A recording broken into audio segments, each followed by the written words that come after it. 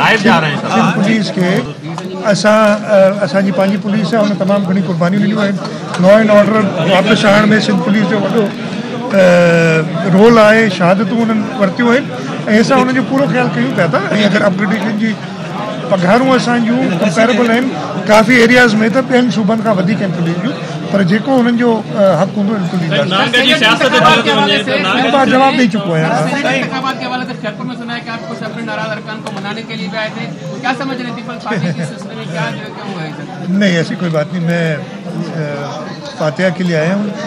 साई कायम अली शाह की बेटी का इंतकाल हो गया। उनके साथ बांटने आया हूँ। इससे पहले मैं फजल शाह साहब के यहाँ भी फातिहा करने गया था तो मैं इस सिलसिले में आखिरी सवाल है ओपन बैलेट साजिद तो कल भी मेरे साथ मैंने कहा था आने के लिए। ओपन बैलेट पे मुस्लिम लीग नून और पीपल्स पार्टी फ्रंट लाइन पे खड़ी हुई है इसके खिलाफ मिसारी जमू- जमहूरियत जब हुई थी आपकी मिसाक जमहूरियत उसका ये हिस्सा था कि ओपन पहले बैलेट ही कराए जाएँगे। तो क्या कहेंगे कि आप उस मिसाक जमहूरियत से अब इनहराफ नहीं कर रहे मेरे भाई मिसाक जमहूरियत बिल्कुल अपनी जगह पे लेकिन इस मुल्क का आइन भी है। आइन में साफ़ साफ़ लिखा हुआ है कि आर्टिकल 226 के अंदर कि सेनेट का इलेक्शन और आइन के तहत जो भी इलेक्शन होंगे, सिवाय वज़ीर अजम का इलेक्शन वज़ीर अला का इलेक्शन, बाकी और कॉन्स्टिट्यूशनल अमेंडमेंट जो होती है वो, उसके अलावा सारे सीक्रेट बैलेट से होंगे। इस हुकूमत ने जो मज़ाक किया है नेशनल असम्बली के साथ, पार्लियामेंट के साथ अब आप ये सोचें, पहले ये रेफरेंस दायर करते हैं। उस रेफरेंस के बाद नेशनल असम्बली में एक आइनी तरमीम लेके आते अगर वो समझते थे कि आइनी तरमीम की ज़रूरत नहीं है तो क्यों लेके आए थे? आइनी तरमीम लाने से पहले किसी, उनके पास तो सिंपल मेजॉरिटी भी बड़ी मुश्किल से है। लेकिन जब आइनी तरमीम लानी होती है, आप हर पार्टी से मशावरत करते हैं। मशावरत करने की बजाय कौमी असम्बली के अंदर एक ऐसा माहौल पैदा किया गया कि जिससे बदगुमानी और बढ़ी। और उसके बाद एक ऑर्डिनेंस ले आते हैं। वो करना क्या चाहते हैं? तो उनकी अपनी नीयत खराब है।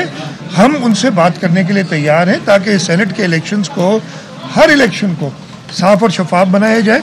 अभी आपने देखा अ, हर तरफ़ कल पंजाब में जिस तरीके से इलेक्शन को देखा है। मैं नहीं कमेंट करना चाहता।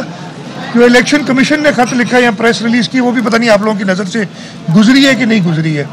तो ये पीटीआई की हुकूमत मुकम्मल तौर पे पार्लियामेंट के अंदर अपने गवर्नेंस के अंदर हर तरीके से नाकाम हुई है। महँगाई का एक तूफ़ान बर्पा किया हुआ है और इन ताला जल्द इस हुकूमत से निजात मिलेगी। अच्छा अच्छा सर सेनेट क्या खैरपुर में वज़ीर अला सिंध मीडिया से बात कर रहे थे जिसमें उन्होंने कहा कि पीटीआई की गवर्नमेंट पार्लियामेंट गवर्नेंस सब में नाकाम है। विफाकी हुकूमत इश्यूज़ पर काबू पाने में नाकाम हो गई। वज़ीर इतलात तो नशरियात शिबली फराज ने ट्वीट में कहा कि हमारे पोलिंग एजेंट से एन ए पचहत्तर के नतज मिले हैं। पोलिंग एजेंट्स के मुताबिक हम सात हज़ार वोटों से जीत गए हैं। 2018 इलेक्शन में ये सीट हम तीस हज़ार वोटों से हारे थे।